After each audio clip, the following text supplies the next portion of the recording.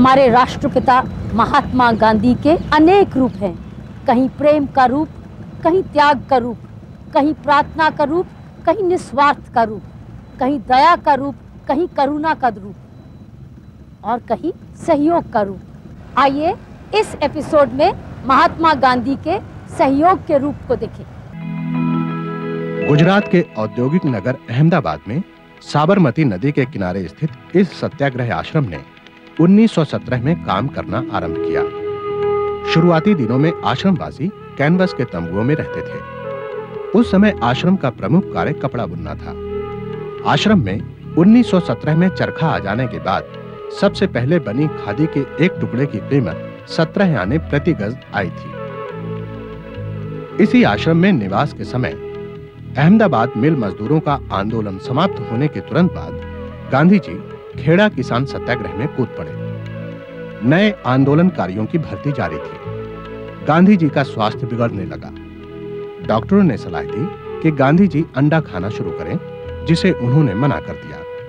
किंतु कस्तूरबा के कहने पर बकरी का दूध पीना शुरू कर दिया। ब्रिटिश राज ने रॉलेट कमेटी की सिफारिशें जारी की। गांधी जी ने उन्हें अवांछित व अपमानजनक करार दिया।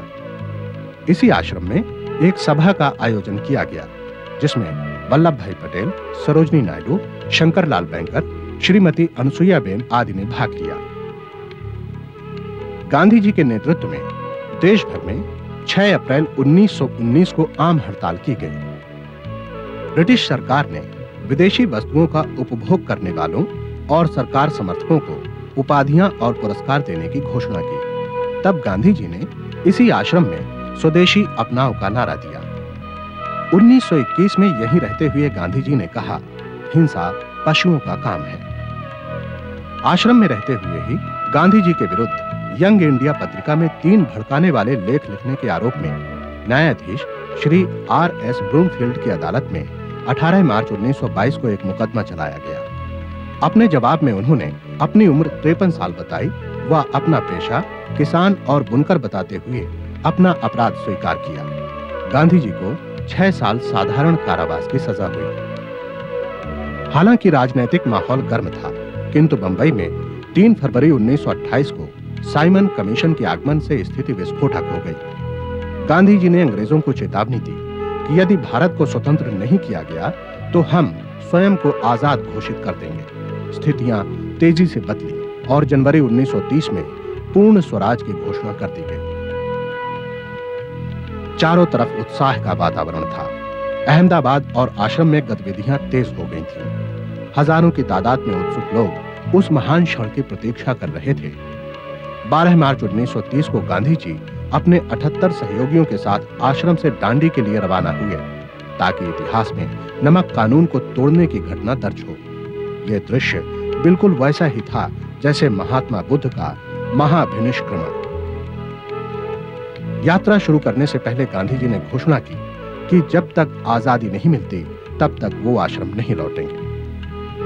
गांधी जी का ये आश्रम एक ऐसा पवित्र स्मारक है, जिसने हमें आज़ादी के सूरज के दर्शन कराए। हमारा देश, हमारा राष्ट्र जो है, वो धर्म निरपेक्ष है। लेकिन वो नीति निरपेक्ष नहीं है। उस, वो उस बात को हम भूल गए तो इसीलिए मैं मानती हूँ कि धर्म का सच्चा अर्थ क्या है वो अगर हम लोगों तक पहुँचा सकें और उसमें सभी धर्मों के लोगों को साथ मिलकर के काम करना है। तो हिंदू मुस्लिम सिख ईसाई जैसे हम कहते थे उस वक्त हिंदू मुस्लिम सिख ईसाई आपस में है भाई भाई तो सर्वधर्म संभाव की भावना को हमें देश में प्र, प्रसारित करनी है। तो उसके लिए अगर हम शिक्षा पद्धति में पहले से ही सर्वधर्म के जो समान सिद्धांत हैं, उन सिद्धांतों को कुछ ध्यान दे अभ्यास क्रम में और उसको अनिवार्य रूप से विद्यार्थियों को सिखाया जाए तो थोड़ा बहुत फ़र्क ज़रूर हो सकता है। तो बापू ने सहयोग को और असहयोग को नॉन कोऑपरेशन उसको बहुत ही मज़बूत वेपन बनाया। कि किसी भी संस्था को नीचे डालना है, अन्याय के सामने झुकना है, कोई बदमाशी करते उसको रोकना है तो वो जो बल है उसके सहयोग नहीं दीजिए। तो नॉन कोऑपरेशन और सहयोग are the result of non violent approach उनका जो मूल मंत्र था सहयोग, जातियों में, धर्म में देशों में सब में वो सहयोग चाहते थे। नेशनल यूनिटी शुरू, समझिए जब से हिंदुस्तान भारत में आए और अपने राष्ट्र जो उनका समझिए जो राष्ट्र स्वास्थ्य था उस तक उन्होंने नेशनल यूनिटी पर सारा ज़ोर दिया। लेकिन उनका ये भी सिद्धांत था कि यदि ऐसा अन्याय हो जिस जिसको आप तर्क से रीजनिंग से आर्गूमेंट से नहीं दूर कर सकते, वो तब आपको ऐसे योग करने का भी हक है।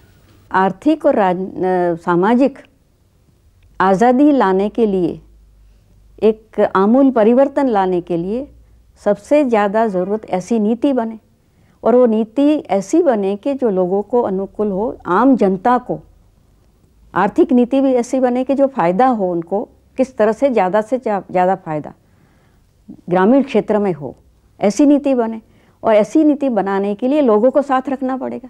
लोगों का सहकार, सहयोग तो लेना ज़रूरी है। Basic quality that generates a spirit of cooperation in one person in his mind with others will be on the basis of the understanding that these two persons are made of the same stuff, are the children, children of same God. A fellowship, understanding, compassion, de desire to work together, a willingness to suffer even for the other person is the basis of cooperation. सहयोग से ही दुनिया चलती है कुदरत का भी ये नियम है और जहाँ सहयोग टूटता है, वहीं पर हिंसा होती है। है ना? तो जहाँ हिंसा नहीं है, एक मोटा मोटी नियम ये समझ लीजिए कि जहाँ आज लोग एक दूसरों को मारकाट पे नहीं उतरे हैं, या जहाँ पर किसी भी प्रकार का डिस्टर्बेंस नहीं है, चीज़ें उलट पुलट नहीं हो रही है, वहाँ सहयोग की वजह से ये हो रही है। जो इस समय के हमारे निर्णायक लोग माने जा सकते हैं या संस्थाएँ उनमें हमें संघर्ष और असहयोग ज़्यादा दिखता है। वो भी बहुत छोटी छोटी बातों पर। इसलिए युवा पीढ़ी से हमको बहुत उम्मीद करते हुए डर लगता है कि इतने चुनौती और एक असहयोग के वातावरण में वो सहयोग के बारे में कैसे सोचेगी। लेकिन शायद ये उसके लिए सबसे बड़ी चुनौती है कि इसमें से वो अपने समाज का जो उसका धुरी थी, सत्व था, उस पर कैसे वापस आए और इसको समझे। गांधी जी का मानना था कि जब जीवन में संकट आए या कोई बहुत बड़ी मुसीबत हो तो प्रार्थना से मनुष्य को बल मिलता है। और इसीलिए उन्होंने भारत की हज़ारों साल पुरानी सांस्कृतिक परंपरा से ये मोती खोज निकाले थे। इन भजनों और पदों में से किसी भी अन्य धर्म या मत को मानने वाले का विरोध नहीं था। आश्रम जीवन जैसे जैसे समृद्ध होता गया वैसे वैसे ये भजन संग्रह बढ़ता ही गया। हरे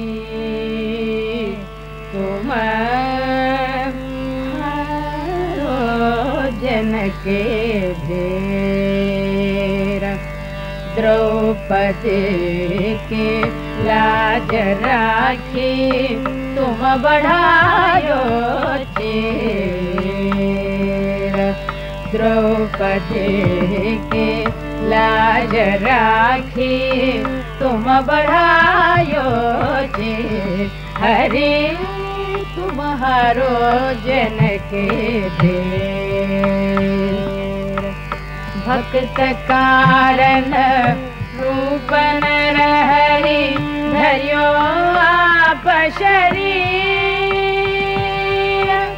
भक्त कारण रूपन रहरी धरियो आप शरीर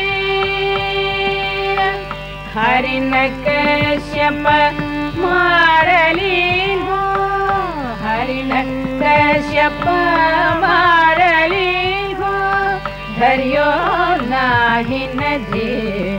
हरि जनके जनक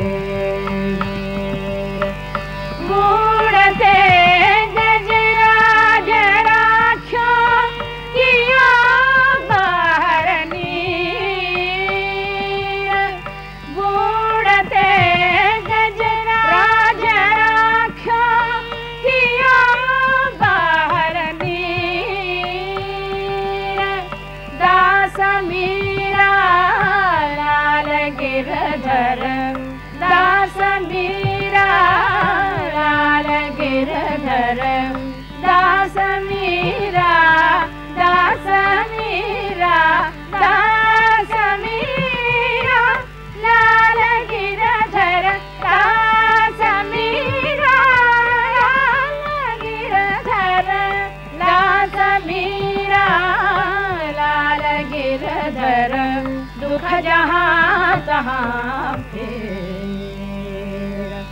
गांधी जी अक्सर कहते थे कि अगर आश्रम के सिद्धांतों के खिलाफ कोई भाव किसी भजन में आए तो उस भजन को भजनावली से निकाल दिया जाए।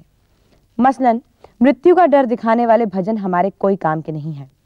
वैराग्य का उपदेश देने वाले, स्त्री जाति की निंदा करने वाले कोई भी भजन हमारी भजनावली में काम नहीं करेंगे।